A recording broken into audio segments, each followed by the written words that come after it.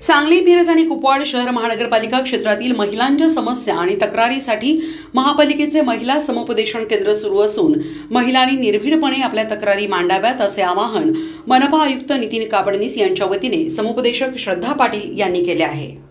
नमस्ते मी advocate श्रद्धा पाटील महिला समुपदेशन केंद्र याची महिला समुपदेशन म्हणून काम पाहते. माननीय आयुक्त साहेब यांनी यांच्या मार्गदर्शनाखाली सुरू झालेले महिला समुपदेशन केंद्र हे आपल्या शहर पोलीस स्टेशनच्या पाठीमागे असलेल्या क्रांतिज्योती सावित्रीबाई फुले प्रसूतीगृह येथे सध्या कार्यरत आहे. हे समुपदेशन केंद्र सोमवार ते शुक्रवार या वारी सुरू असतं. याची वेळ आहे स पावणे दहा ते सव्वा सहा.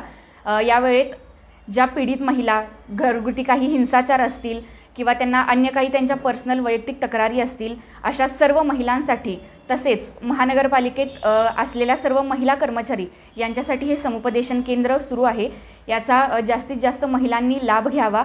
त्यांच्या कोणत्याही प्रकारच्या तक्रारी असतील अगदी म्हणजे त्या ज्या मांडू शकत नाहीत कोणाशी शेअर करू शकत नाहीत त्यांच्या पर्सनल अडचणी असतील यासुद्धा त्या इथं येऊन शेअर करू शकतात. यावरती त्यांना योग्य ते मार्गदर्शन सल्ला तसेच कायदेशीर मदतही त्यांना येथे केली जाईल. तर याचा जास्तीत जास्त महिलांनी लाभ घ्यावा. अशी मी विनंती करते असे आवाहन करते. तसेच यासाठी आपला हेल्पलाईन नंबरसुद्धा आहे. ज्या महिला इथंपर्यंत येऊ शकत नाहीत त्या आपला हेल्पलाईन नंबर आहे एकशे बारा. तसेच महानगरपालिकेने या सुरू केलेल्या महिला समुपदेशन केंद्राचा सुद्धा फोन नंबर आहे. त्याचा नंबर मी सांगते. सत्तर सहासष्ट शून्य चार शून्य तीन चौतीस या फोन नंबरवरती सुद्धा त्या संपर्क करू शकतात.